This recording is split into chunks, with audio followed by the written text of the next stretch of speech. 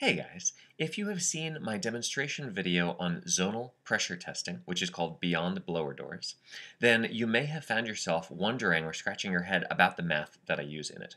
You may, alternatively, have found yourself in a situation where, number one, you know for a fact that you've been doing this longer than I have, which there are plenty of people who that's true for. And number two, you may have uh, written a research paper or done very in-depth research on zonal pressure testing, and you may have said, mm, I don't know if Corbett knows what he's talking about. I actually do know what I'm talking about, and I will clarify for you why I use percentages when I talk about zonal pressure diagnostics. So in the first place, you want to make what we are talking about very simple and clear to understand because we have been doing testing of buildings for 40 years at this point, right? Since the 70s, the first energy uh, crisis.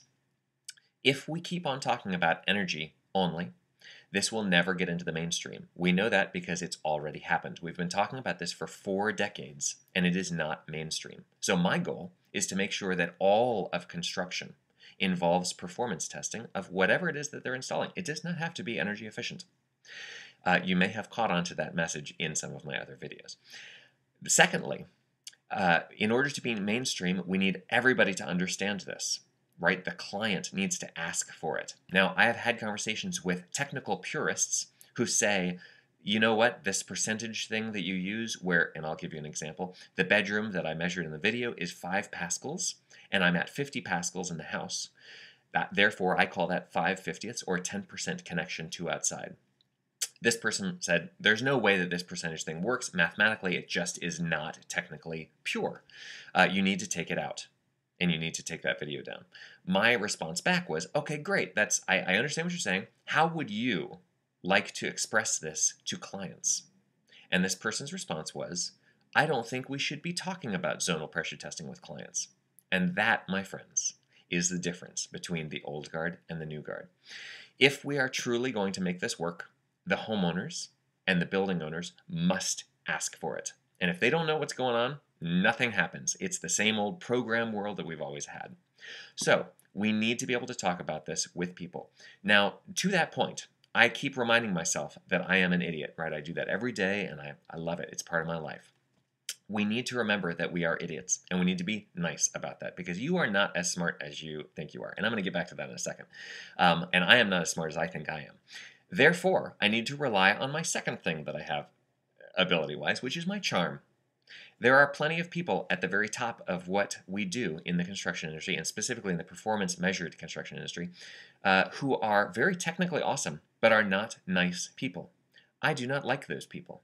And I will say that straight to their face. I don't think it's okay for somebody to be technically awesome and also be an a-hole.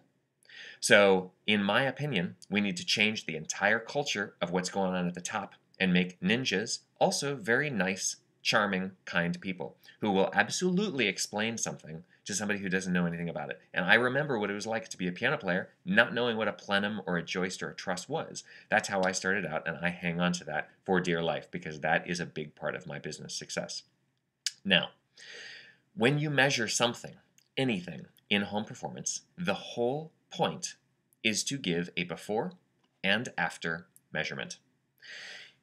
There is no point in measuring something if there is not going to be an after.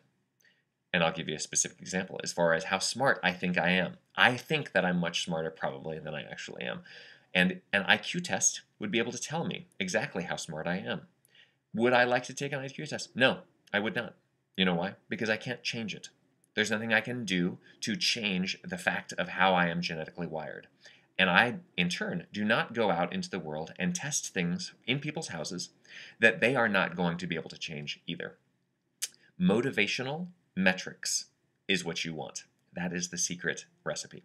So when you give someone a motivational metric, like for example, my way of explaining zonal pressure testing as a percentage, your master bedroom suite is 10% connected to outside, and your vented crawl space is 5% connected to outside. Mathematically, is that a pure statement? No, it's not.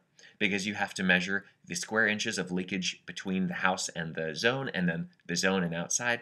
Uh, you have to have one or the other of those and be able to do a comparison. And really, I'm not that interested in any of that stuff. What I am interested in is motivating my client to making that number better.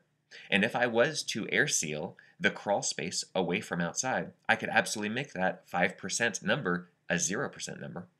Or I could make the 10% number for the bedroom a 5% number or a 2% number or whatever. And this is where we start competing. So if you can promise a 2% zonal pressure final, uh, that is because you know what you're doing. And it, you should not be promising that much of a reduction unless you really do know what you're doing and you know for a fact that you can deliver it. Once you have people competing on actual performance, then the whole conversation goes the way that we want it to. Uh, the first thing that needs to happen is the client asks, You say you're going to air seal my house, but what exactly is the zonal pressure uh, percentages? I heard this thing on YouTube. What's that, that percentage that you're going to promise me? Once they are asking for that, people will sweat and they will start actually delivering things because I know plenty of companies that air seal attics and I come along and do a zonal pressure test and I can show for a fact that there is a connection between the attic and the house and I can use my eyeballs and do the size comparison of holes using that ratio.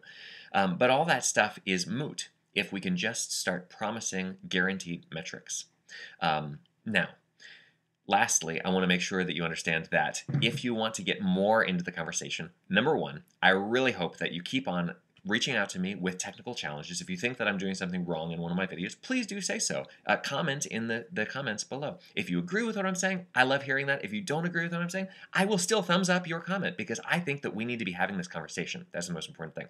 Secondly, if you want to be a ninja who is uh, also hooked up with very nice ninjas around the country and around the world, the Fall Fast Track is the way that you can do that. So I hope that you'll check out that video and I'm going to link it on the, the page right here. That is my six-week mastermind course where people who are working in their real jobs start learning things and incorporating it into their actual life. And then we meet about it once a week. We have the office hours, and then you get you're doing all this stuff with people at the same time all around the country and around the world. It's super cool, and I hope that you'll join us for that if you uh, have the time and you have the inclination to become a ninja. So thanks very much for watching. I hope this has been clear. Tune in next time.